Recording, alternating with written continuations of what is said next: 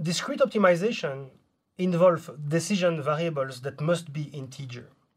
In this video, we review the definition of some variants of these problems.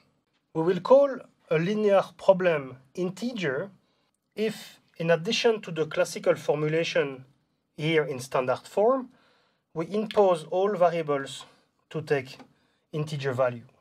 This integer linear problem will be called mixed if some variables can take real values, in this case the variables x, and some variable must take integer values, in this example y.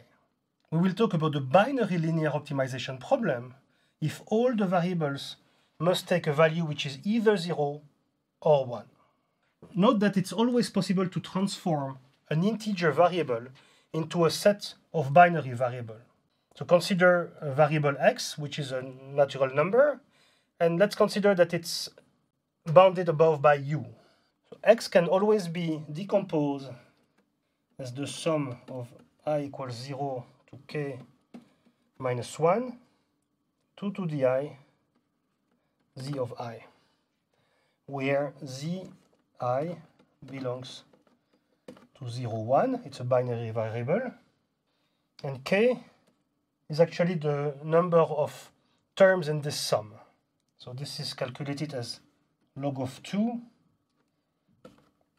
of the upper bound plus 1 rounded up. Let's take an example with u equals 5. In this case, k equals 3.